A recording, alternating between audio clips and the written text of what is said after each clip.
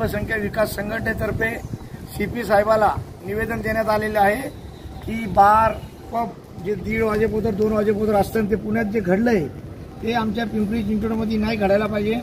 याच्यासाठी मी रफिक रशीद कुरेशी युवक अध्यक्ष साजिद शेख आणि आमचं शिष्टमंडळ आज सी पी साहेबाला भेटून निवेदन देण्यात आलेलं आहे की अकरा वाजेच्या वर असन तर त्यांच्यावर गुन्हे दाखल करा नाहीतर त्यांचे लायसन्स जपत करा.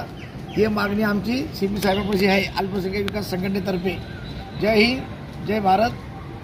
सलाम